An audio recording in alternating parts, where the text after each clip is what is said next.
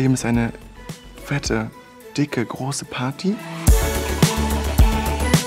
Ich bin die David, ich benutze die Pronomen sie, ihre für mich und mein Fachgebiet ist Beauty. Ich mache Haare und Make-up und alles, was dazugehört. Einer meiner liebsten Beauty-Hacks ist, dass man den Pferdeschwanz oder den Dutt versetzt, denn dann leiden die Haare weniger und du musst weniger Angst vor Haarbruch haben.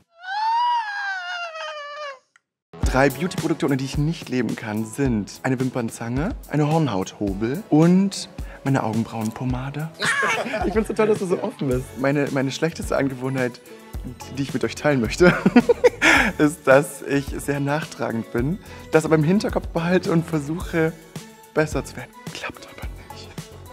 Der beste Ratschlag, den ich jemals bekommen habe, war von Vivienne Westwood und da sagte sie, wenn die Menschen aufhören würden, schwarz und weiß zu denken, dann gäbe es viel weniger Probleme. Und dass die Menschen aufhören sollen, ihre eigene Meinung über die Meinung anderer zu stellen. Mein Traumdinner-Gast. Das Problem ist, ich esse halt nicht so gerne vertikal, ich mache das lieber horizontal. Das heißt, es müsste eine Person sein, die neben mir im Bett liegt und mit mir dinnert. Mariah Carey. Meine Hoffnung für die Show ist natürlich, dass wir gesellschaftlich einiges verändern können zum Positiven.